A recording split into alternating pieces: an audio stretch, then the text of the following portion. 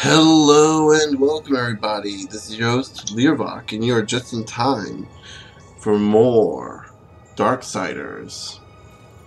In the last episode, we defeated the Stygian and got and uh, got our next ability which would allow us to actually walk on walk through special gateways on Ruin, even though it really isn't an ability.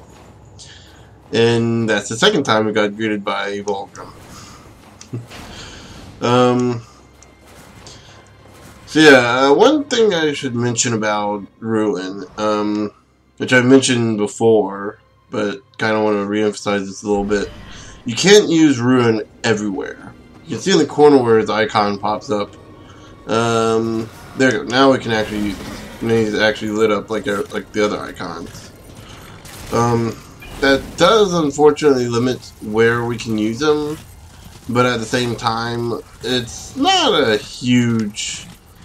Oh, that's the wrong way. Oh. I swear for a moment I saw the Horde banister from World of Warcraft on the. Like that was I, I did not see that banister. I saw the Horde symbol in in place of what the symbol was there. Um, I think, do we? Oh, wait, I think we do need to go. Oh, we do need to follow this path. Um,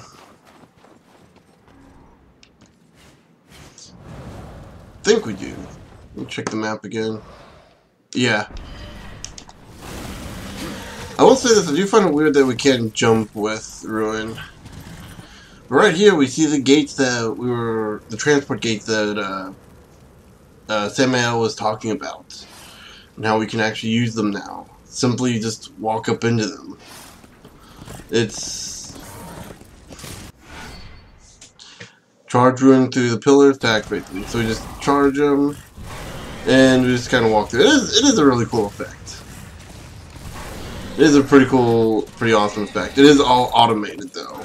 So, want to, I just want to reiterate, I'm not pressing a single button there, except for moving the camera. And yes, you are very limited to where you can move the camera. And I didn't even charge charge when you just just walk them in. So yeah, kind of unfortunate that's a automatic thing, but at the same time, it's kind of cool. It's a cool, uh, it's a cool visual effect, and you can kind of consider more of a loading screen. Excuse me. Two, two minutes in and, and I'm already yawning. Actually closer to three minutes, so yeah. There you go, we've been recording for a long time. oh man, if that's long, if, if three minutes is considered a long time for you, for anyone watching this, then you must, you must consider my normal videos like an eternity. Uh, try multiplying 3 by 10. You, I usually, unfortunately, do 20 minute videos. 20 or 30 minute videos. I try to keep them under that, but sometimes, especially especially with newer games, with seeing as they're like more story based than say like something like Mario World, for example, it's a little harder to kind of. And oh goody, we got spiders. Well, we are dealing with. uh Actually, did they say? Yeah, they did say this is like the Spider Queen, didn't they? And here we are in the Iron Canopy, and press tap B to get out. Yeah. It is really weird that that's a thing. Um, so here we are in the actual dungeon. Um, the Iron Canopy. Which I'm assuming below below us is is what was once the Ashlands. Um, yeah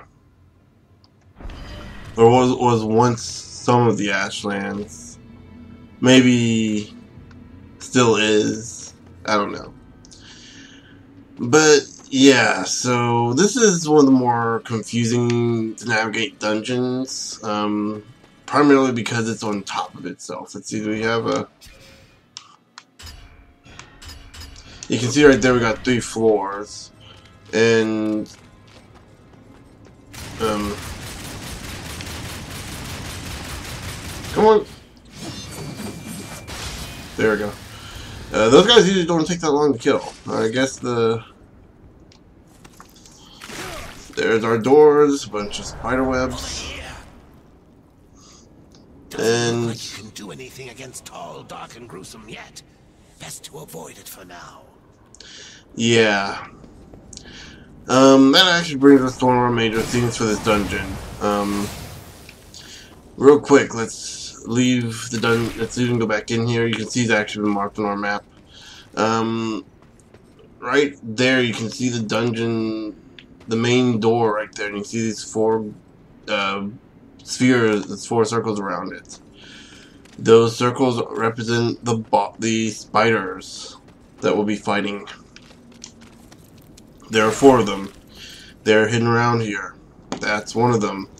And we can't do anything about it quite yet. We will be able to eventually. I just got to remember what it is exactly we need to do to kill them. Um, and that, of course, doesn't work. So instead, as you may have guessed, you saw a time stone or chronosphere, a chrono stone. We got to. Oops, can't do it. Gotta do it this way. And run, run, running, running, running, running, running. Face. Ha Excuse me. Mm. Uh, hold on. Mm. Crap. Uh, hold on one second. Um. Okay. Had get something that dropped from cough. Yeah. Um. So yeah. Uh, let's see where we can't fight the spider. We do have some more of these angels, uh, corrupted angels.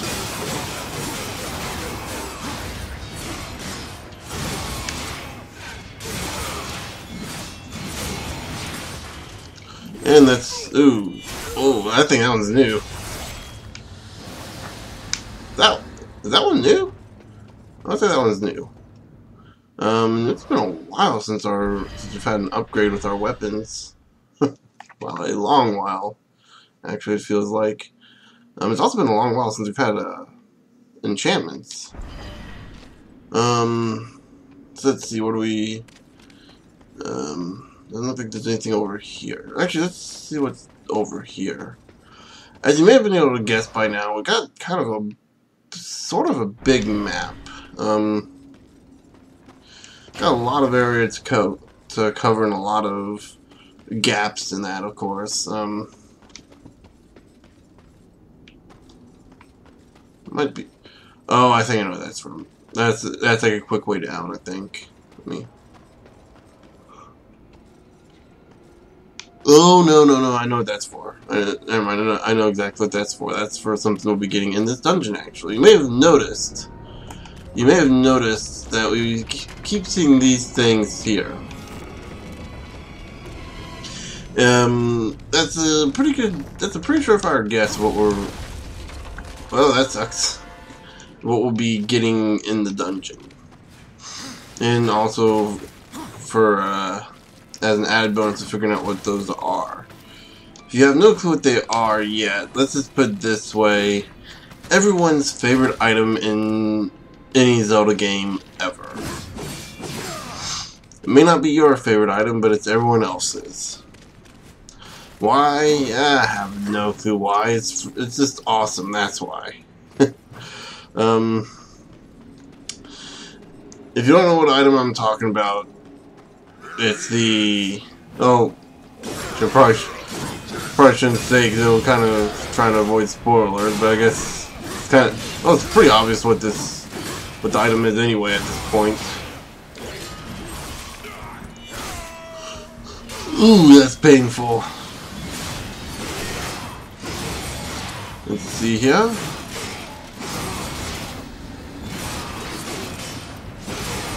And there we go. Trying to use primarily the sight so I can level it up a little bit more. At least get closer to the uh, to the Chaos Eaters leveling.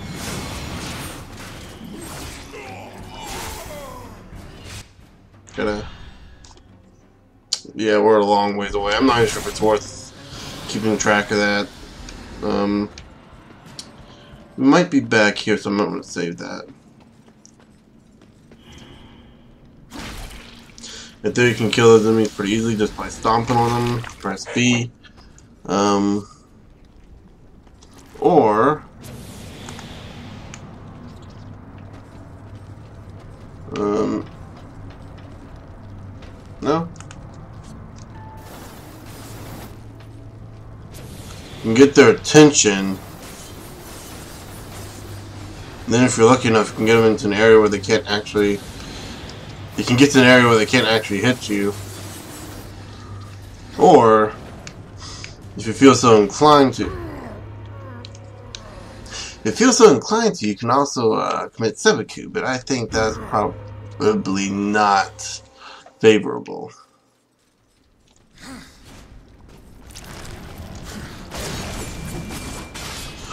Uh, right there you saw a spider's nest, where we got a bunch of these little creeps spawning from. Um, basically, they're kind of, they act like just a lot of the other smaller enemies. It's kind of very easy experience. Um,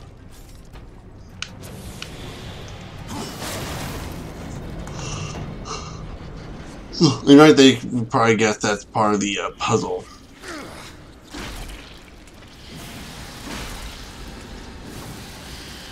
There we go. Um, so now that we got that bar down,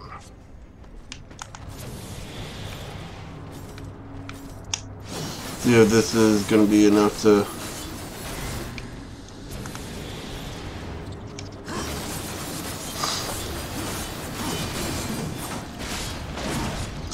Okay, and uh, okay. Got one more. Um, nope. Got a few more.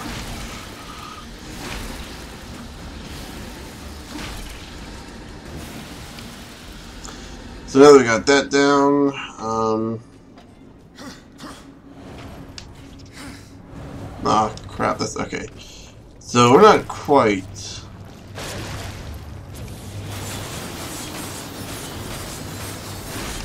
Not quite done yet. Um...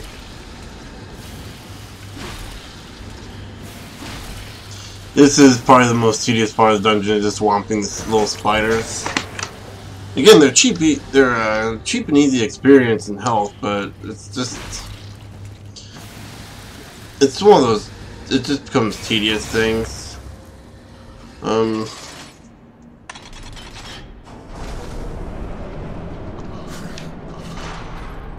There we go. Okay, so we got that part set up. So you can probably guess the, the time stone's going to involve something here. Um, I don't remember what to do here. It's been a little while since I played this. Like I said, this is my least favorite area, so I tend to uh,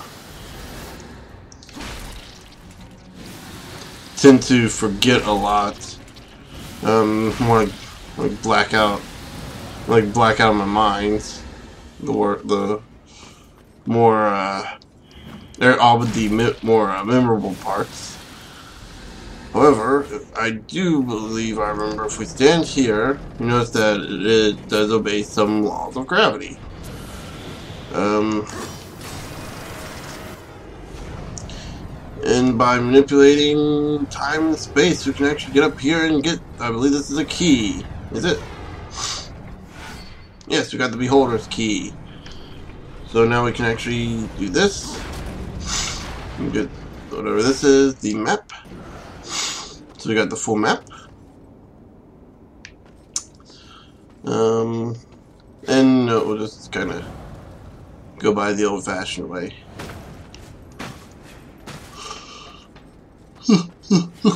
Excuse me. Hopefully, my first time going through this, it took a while. Hopefully this time it won't take so long. It's, it's easy to get lost in this area. Um, just because, again, it's like, take a look at the map.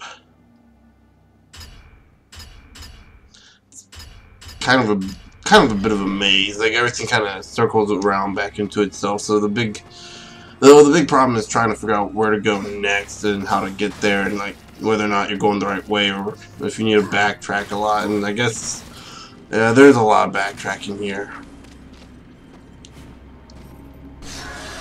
Okay, so we destroy the Beholder Gate and enter this door, which we'll find looks like another spider. Huh. Oh, we're under, we're above the spider. Hmm. Well, if we move this over here, I believe, um, believe before... Okay.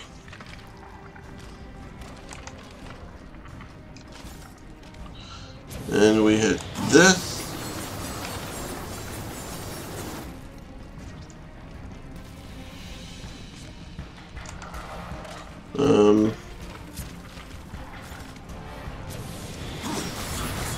There we go. It drops him down. Now he's upside down. Can't move up. We can't flip right away, so if we drop down here, and we drop down here, we can actually... Dang it! Ah, crap. Well, you kind of get the idea. Um, and now I gotta find a way back up. This all be fun. Oh! Mean over here. Where's the, where's the water at? Don't make me call you again. Oh, right there, okay. So... Nope, nothing we can do up there. Um... I feel like I'm playing this blind. So there he is. So how do we get up there? I'm trying to, I'm honestly trying to remember. Um...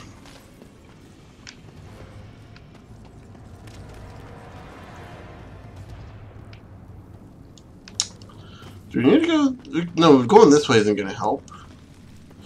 Though we probably do want to get rid of these spiders just in case they become more resistant. Uh, not touching that one. Um.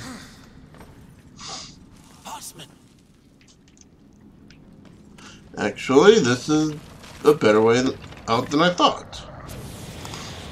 Oops, wrong thing. Uh, don't make me call you again. And there we go.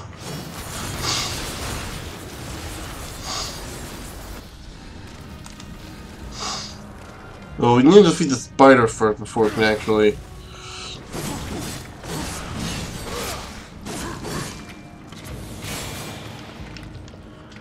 Um...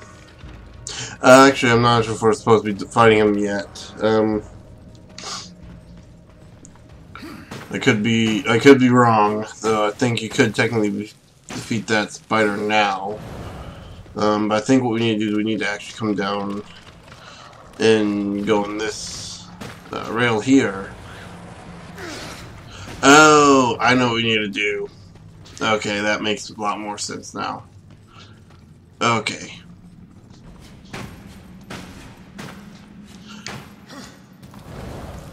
So we need to hit this. Drop him. And then drop down here, scooch over here, jump over here, and then fly over here. That's what we need to do. And I believe coming up soon here should be not the item we're looking for. Oh, but we have a new demon to fight. Ah, great. Uh, I call this guy the Atomic Skull.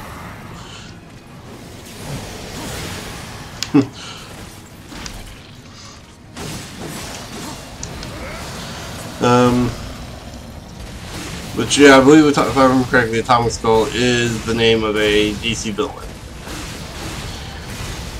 Mm, it actually kind of looks like this guy. These guys, in all honesty,